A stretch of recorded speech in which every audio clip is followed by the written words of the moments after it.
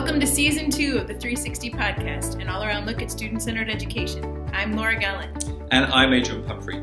And today, for our first episode of this series, we talk with Dr. Robert Dillon, who is co author of Space, uh, a Guide for Educators.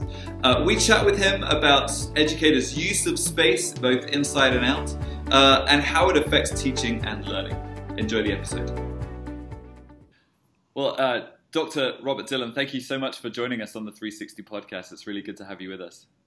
Yeah, it's great to be here, and uh, we're off to another school year, so it's uh, a lot of fun here in St. Louis, and I know uh, same for you guys there. Yeah, um, I, thank you for writing this this book. Uh, we've really enjoyed reading it, um, and there's lots and lots to think about. Um, I would just love to know a little bit more about the the the story that got you thinking about space the spaces that we use in teaching and learning, and uh, yeah, what you, what brought you to the point of, of writing this?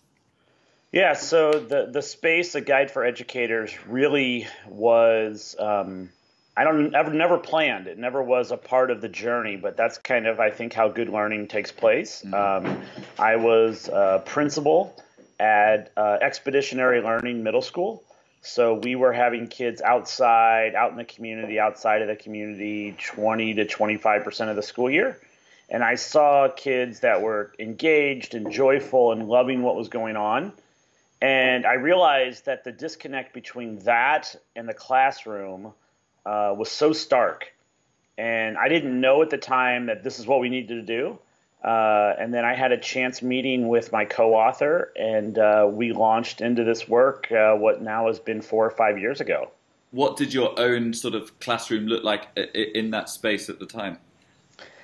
Yeah, for me, um, you know, it was pretty traditional, right? Like I wanted to, you know, I wanted kids to have movement. I was really into that piece and making sure that kids felt comfortable moving around the room because I'm that type of learner. Uh-huh. Uh, but I wasn't really thinking about what goes up on the walls and how we use natural light and really getting student feedback. And uh, I think that's all just grown into our process for supporting schools and districts uh, through this work. And really, the book wasn't to like become this best-selling author. It was to make sure that the things that we were doing didn't get trapped in the little school district in St. Louis. That we really released those out to the public for them to think about and iterate on and make it even better. Now, one of the things that was fun about reading the book um, when it was first given to me was I was just sort of expecting a regular book. There was just going to be lots of words on the page, um, probably more of like how my five year old looks at books that I read, and he's like, Where are the pictures, mom? And I love that this one has the pictures, and you guys do some interesting things with layout. You give lots of examples. Um, that using the space of the book itself was um, certainly made it more pleasurable to read. Um, I'm curious to know because I know that a big part of the book is about getting student feedback, student input, student as co designer. What was the process that you used? I know you said in the book that, well, it's different with every school and every teacher, but I'm curious to know a little bit more about your process of making students co designers of the space. Yeah, and, and really the book was by intention. And I think since the book was published four years ago, there's a, a kind of a big pu- push about what is intentional design, not decoration, right? But what is intentionality around the work? So we wanted to make sure the pages of the book felt intentional. We wanted to make sure that a teacher could take the book home on a Friday look through it and be inspired for Monday. Mm-hmm. Uh, we all have piles of education books all over the place that we never get to. Mm-hmm. Uh, we didn't want to be another. Uh, and then we were also inspired by someone like Austin Kleon. So I don't know if you know Austin Kleon's work. He wrote a book called Steal Like an Artist, but the book was square. Big design, big ideas, very joyful. And so, um, not only will this book be that way, but the uh, follow up to that book, which is due out in 2020, will also have that same layout and feel. And really, for us, it was about that same design thinking process like who are the folks we should be empathizing with and mm-hmm. so we spent a lot of time early on talking to students observing classrooms and listening um, just as you would in any other design process and now we're encouraging schools to all have student design teams mm. as a part of their process. And that's been really healthy for me to work with the student design team, but also for teachers to listen and have a formal process to listen to students about the space. Uh, that whole idea of uh, students helping you design the space is just fascinating to me, and uh, that's certainly something new that I've heard about this conversation. You know, some of these things I've heard before, like, you know, flexible spaces, and you know, but that part of it was definitely one of the new things that came to light. Um, uh, and I'm just wondering, what what have you found that students bring to the table that perhaps um, uh, teachers miss, or you know, teachers uh, don't see? Yeah, you know, I think we're locked in as adults. We have habits, we have mental models, we have ways that it's supposed to be, and it's hard for us, even when we are intentional, to break out of those. Mm-hmm. And students bring this amazing amateur mind, right? Like they aren't blocked by those things, and so they see things differently um, they aren't constrained by systems and structures. Mm-hmm. And so they bring the wackiest, most bizarre solutions to the table, but they also move us off of our kind of inertia. And so it's been great to experience that in a number of different schools. Yeah. And I notice you, you, you talk about the, our current uh, setup with individual desks being perfect for the worksheet. Uh, and, yes. Uh, you know, I I just love that, and uh, that sort of was a touch. I'm a math teacher, right? So uh, that's definitely you know a, a, challenge, and that brings me to actually. Um, I felt like this book almost was not about space, but is actually about good teaching and learning. Shh! Don't tell anybody. Okay, sorry. It's the, the it's the Trojan the horse. It's the Trojan horse. Um, and I really do tell people that that this really is about syncing instructional practices mm-hmm. with the learning environment. And, you know, we've spent a lot of time in education talking about and debating in good ways, like what should kids learn, right? And then how should kids learn it? Should they discover it? Should they construct it? Should they, how long should a curriculum be? Mm-hmm. And we've left out like where, right? We've talked about how, we've talked about what, but we left out where. And so, like, how do we bring all that together is a beautiful conversation, and um, it's been a lot of fun to be a part of that. But absolutely, people want to talk about their space, and then once you go there, there's no way not to talk about instruction. yeah, one of my um, favorite quotes from the book was if you really want to shift a culture, it's two things its habits and its habitats, the habits of mind and the physical environment in which people operate. Yeah, we know where we're comfortable. We know where we're inspired, right? And so um, when you want to take people to feel alive, you don't take them to a cemetery, right? Like, and so where do we take kids to feel alive in their learning uh, matters. And so we've been in schools, we've been in a classroom where you're like, as soon as you walk in, the energy drains out of your body. and as soon as you walk in, you're like, oh, this is interesting. And this is happening to kids all over the country right now in this moment on the first day of school. They're either walking in going, wow, this could be great. Or they're going, oh, I have to be in here all year. And so um, it's just essential. And um, I don't know why it slipped off of the radar. Um, but um, it's been fun to bring it back into the conversation. Mm-hmm. So when you walk into a uh, a space or a new school uh, or you visit somewhere, um, what is it when you walk into a room and you're like, okay, this is a great learning environment? What what are the things that stick out right away? Yeah, there's some beauty, right? And I think that kids deserve to be in beautiful spaces, and that doesn't mean that it, you know um, I mean, that's just like a, art and artifacts being a part of what is on walls and in hallways and in entryways. Um, when I see pictures of kids doing the learning mm-hmm. throughout the school, that inspires me because I think it tells a nonverbal story mm-hmm. of the school. You know, if you go into schools at seven, eight o'clock at night and you can still tell what goes on during the day, that's fantastic. And then there's just a coherence, right? People have been thoughtful about like the color and where things are, and there's not just piles of things everywhere. So it's it's a sense that the not, the open space is also by design. Mm. I think oftentimes we think about how do we design with the stuff, but how do we also design the open space with an intentional effort? And so I, all those elements kind of bring a feeling about. So sometimes it's hard to create a laundry list, Uh, it really is a feeling, but there certainly are elements that work for 80% of folks. And let's say there's a there's a, a, teacher watching this or listening to this, and they're thinking, um, you know what, I kind of like my traditional space, and I like the maybe sort of home away from home feel about some of the things on the wall, and uh, you know what what might you say to them to uh, encourage them to reflect on their space? Yeah, and the one thing I, I want to make sure is that the the adults that work in the space need to feel comfortable there as well. Um, there there can't be a a martyrdom around this work. Like. I hate my learning space, but I'm going to do it for the kids, and mm-hmm. so that's first and foremost. But um, you know, the research is really clear, and I think that you know this is a compelling point that visually noisy spaces. Mm-hmm don't support engagement and satisfaction. And I think that uh, our best chance of kids being academically successful is if they're in a space that's engaging and joyful. And so I think you have to kind of pull that card at times and say that that's a piece of the puzzle.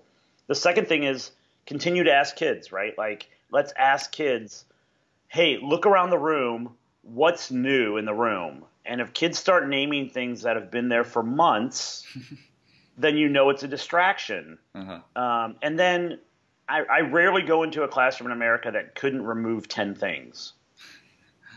And it's really hard to envision what might be when nothing's changed. So sometimes you almost have to remove things to envision what's possible. Yeah. Um, and so I would just encourage folks to do those things, even if they're not ready to throw things away.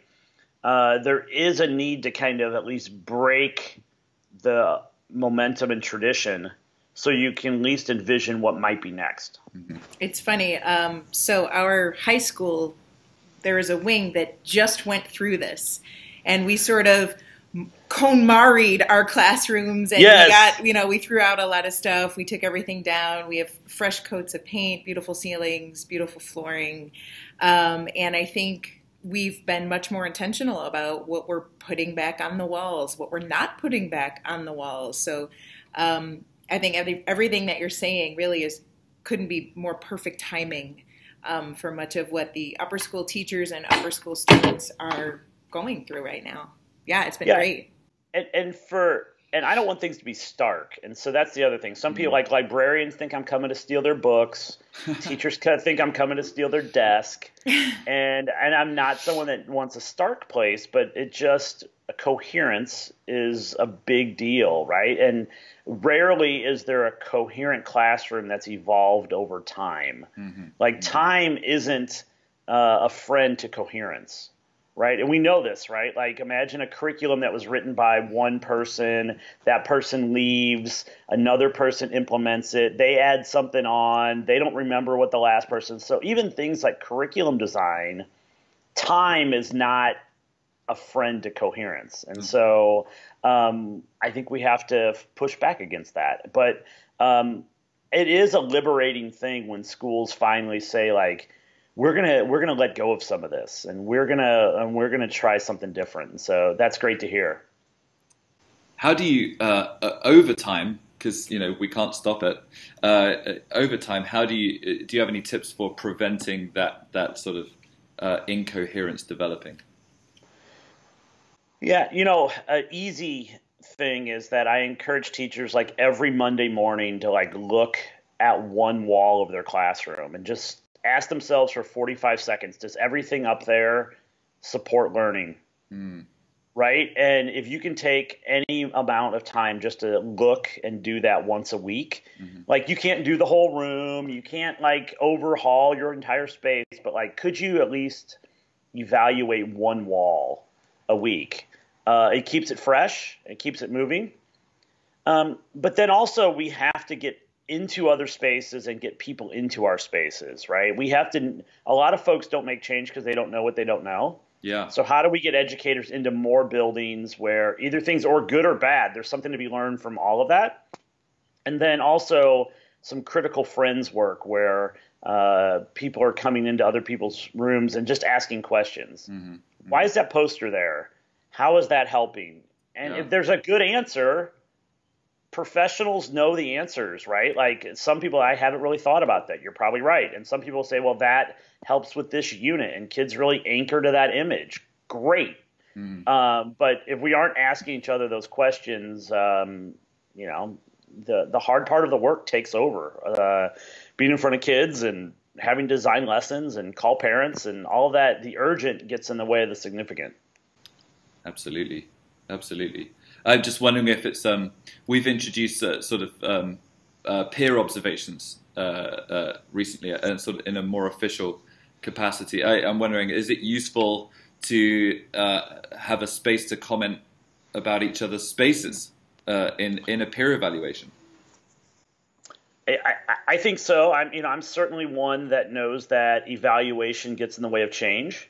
Mm-hmm. Um, and so I, I hate to think that it's part of a super, you know, supervisory sort of thing, but a peer to peer. Yeah. Uh, two More or three observation yeah. and evaluation. Yeah. yeah. So like two, two or three questions that um, allow for people to ask questions about the building principles mm-hmm. around space, and you know those could be. We want to make sure that kids have access to writable space. We want to make sure there's less in our room this year than there was last year. We want to make sure that the images and the bulletin boards and the displays of student work are excellent and have certain elements to them. And so uh-huh. there are two or three things that um, would be easy lift for folks to continue to ask each other about. Uh-huh. Much of what we've talked about and, and much of what the book is about um, is designing a classroom space. What about once you go out into the halls? What do you think about hallway space in schools? Look at you just segueing into number book number two, right? Like, so, is that what I just did? Yeah. Go. So Yay. this is this has been the question, right? Like, so classroom teachers around the country have said, "We get it," and there are lots and lots of classroom teachers that get it, feel the power of it, and their students experience it, and they say, "We're plateaued though because this is not a building initiative." It's a classroom initiative. So how do we think about the entryway of the building, the office spaces, the hallways, the libraries, the common spaces? Um, and so, um, yeah, so we're thinking about that next. So, in most schools, not in California, but in most schools, a third of all of the square feet of a school is hallway space. And so, there's no way we can just leave that to circumstance, right? We have to be intentional about that. So I really tell I help schools with three things with hallways is that like what are the static displays that you want to have up for the next 5 years, right? Mm-hmm. That have logos, that have mission, that have all of those things that are really important to build brand and to build environment and culture. How do you want to think about dynamic displays? Mm-hmm. Uh, that change monthly, that you know showcase student work and hard work or whatever, and then how do you use digital display? and how do you use that? And then the the fourth part of that is like art and artifacts and beauty. And then there's also a piece about um, giving kids hands-on opportunities in hallways. And I've seen some amazing things from K to 12 uh, that schools are doing to make sure that hallways actually feel like places where kids are interacting with the space, uh, uh-huh. more museum like, if you would. And so uh, there's a lot to be done there. And I would say that's a big area of opportunity for most schools. No one's really knocking it out of the park yet. Uh-huh. Can you give us an example of an interactive display that you've seen? Yeah, so uh, at St. St. Vrain Valley School District in Colorado, uh, they're doing some amazing things. They have it set up where kids have some uh, science experiment work in these little nooks and crannies in the hall where whether it's a marble run or they're figuring out inertia or momentum or uh, simple machines they have like these little uh, nooks in their hallways that uh, kids can go and interact with those. And there's prompts and there's a sign and it shows kids how to use it uh, but it's not it's one of those informal spaces it's not like kids get assigned there as a station uh, it's kids can interact with that for 10 or 15 seconds in the hallway. Uh-huh. And then I work with their occupational therapists who are also really thinking deeply about um, how uh, kids' vestibular um, issues, where they need to reorient themselves, they need sensory things in the hallway. So we're putting up carpet, we're putting up um, like tin roof material where cool. kids can run their hands down that. Oh, nice. Um, yeah, and so lots of things that say like here's a need and we know that this helps and oftentimes we're taking things out of special education or autism education and realizing a lot of that uh, is good for all kids mm-hmm. and we're bringing that out into the hallways to kind of normalize some of that as well i, I love that idea i know um, toward the end of the book when you talk about museums and museum spaces you talk about how you know it's a good museum if when you leave you wanted to touch at least one thing right? That we're we're tactile beings, and so I love that idea of having more interactive spaces and hallways. And I feel like students would feel a little bit more like it's theirs rather than well, the adults are kind of putting stuff up on the hallway walls. Um, that the interaction is really there for them. Yeah, and you know, I've seen this over and over when we have uh, turned over hallway spaces to students as design challenges. Mm-hmm. So we've done this in a couple of schools where we say like identify the place in the school where you would never want to hang out. Why, right? And what could it be? And so we've had fifth graders in elementary schools that have that's been like their going away work to the school. Like, hey, when we leave, we want to make sure these spaces are better, and they've designed those. I worked at an upper school in Maryland where um, they the students were like, we don't use the lockers. Why are there lockers here? This would be better off if we did X. Uh-huh. And we didn't implement everything, and it, we didn't like cost overrun, but like it was so cool to take little micro environments of the hallway and just turn them over to kids. And worked at a school in Pennsylvania where the, they had kids that hung out in the hallway in the morning, and the principal said, "Well, the least of you hang out there, you should make it look nice." And so the kids ended up on CAD and did an engineering project and built a deck in the middle of their hallway. It's an amazing project, but turn it over to the kids, right? And they yeah. will come up with some things to revolutionize our hallways. Yeah. We have an amazing fine arts department, and I know they've done some of that with some spaces in the upper school where they kind of reinvented the purpose of the space and they created benches and, and things like that for to make it more comfortable for kids to hang out. They've painted certain walls and certain hallways and everything. And I completely agree. I think it's amazing. Yeah, we had a, a project where, um, you know, ceiling tiles, they're pretty standard. You walk by them every day, they're above your head right now. And uh, somebody did a project called People You Look Up To, and they were all painted with heroes. And so all kinds of heroes, right? Like every shade, every color, very diverse. Uh, but there was a whole hallway that became people you look up to, and they were painted on the ceiling tiles, and it was just an amazing way to transform the space. That's awesome. I'm pretty excited. Uh, even today, I'm running a design thinking simulation with my sixth graders. And um, after reading this, we're actually going to talk about the use of space in this building. So um, I'm pretty excited about that. I'm looking forward to it. Um, now we've touched on this a little bit already, but uh, it seems that this this whole idea of rethinking space is very multifaceted, and um, uh, you've talked a bit about sort of um, the mindfulness side of things, and uh, you know having having things in the hallway um, for for people to uh, interact with. Um, I, I noticed you also mentioned um, it, there's a section on seven principles of universal design. Uh, and one of those is um, equitable use. Um, can you say a little bit about what uh, uh, what that means and, and, how we can design spaces um, to be equitable? Yeah, and again, uh, it, it can be unpacked right here. I think that when we think of equity, we wanted to make sure that we provided ideas in the book that could be used by schools across the country. Mm-hmm. So where where you guys are, let's make sure that folks in Fishers and Zionsville and independent, all the independent schools and all of Indianapolis public schools. Like there are things in there that didn't create another gap. You didn't have to have a capital campaign or a bond issue to do some of this work. So mm-hmm. to us, part of that is the equitable space piece, mm-hmm.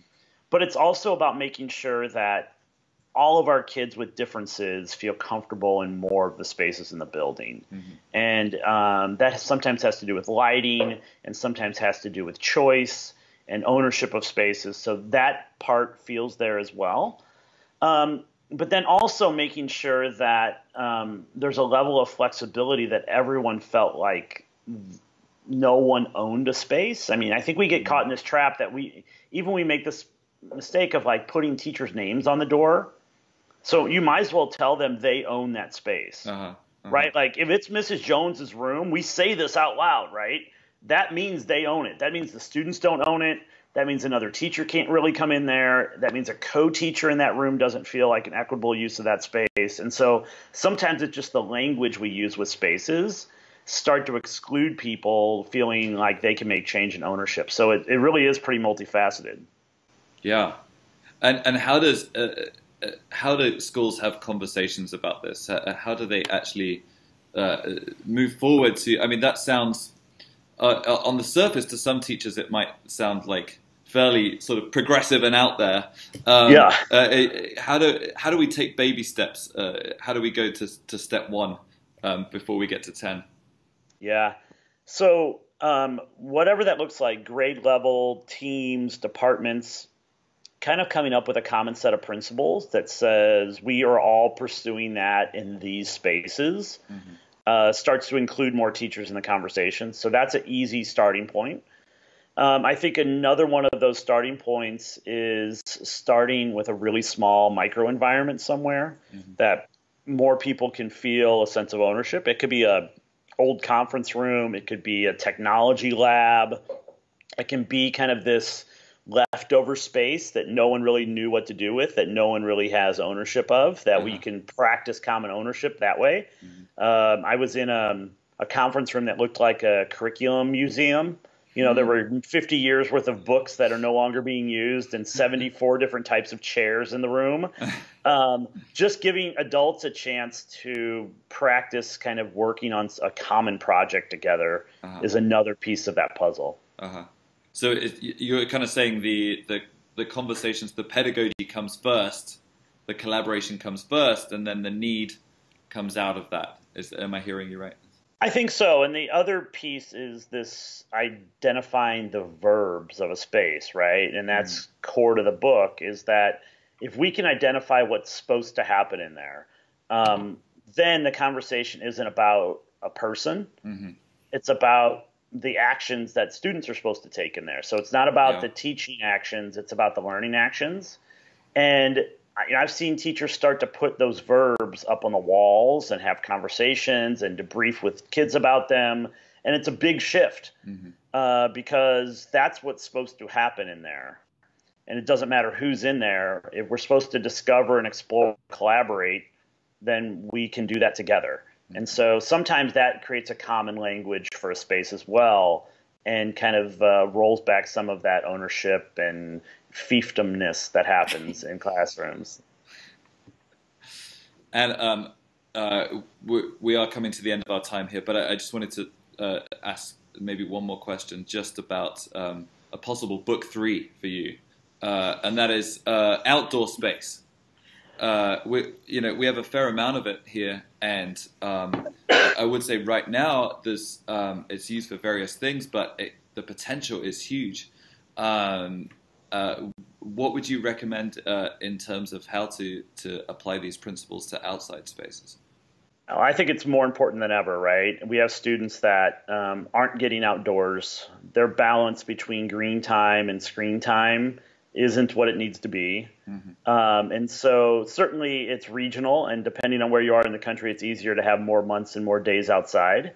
Uh, but I have seen amazing outdoor classrooms and things that do teamwork and low ropes courses and gardens. And there are models of how that works around the country. And even that expeditionary learning model that we started the conversation about, where we're getting kids into the community so they're seen as assets mm-hmm. and not liabilities. Because uh-huh as our communities oftentimes see our kids as liabilities. Like we have to take care of them. They can mess up our parks. They litter on our streets. They write. And when we can make a shift to where kids are seen as assets because of their amateur mind, because of their community service, because of their contributions, it really does begin to shift the mental model of what people have of the youth and schools and our role in teaching and learning. And so, uh, yeah, it plays a big part. And I'm an outdoors person. I, I can't get outside enough. And so um, there you have it, book three in the making. well, Dr. Robert Dillon, thank you so much for joining us on thank this you. episode. Yeah, it's been great to be here and uh, wishing you guys a great school year and uh, uh, keep thinking about the space because it matters. Thank you. Thank you so much. That was Dr. Robert Dillon, co author of The Space, a guide for educators. We hope you enjoyed the episode. And if you haven't yet, do subscribe uh, using the links on the YouTube video or on iTunes, Stitcher, or wherever you get your podcasts. Also, if you love season one or you just enjoyed today's episode, uh, do go ahead and leave us a review on iTunes. See you next time.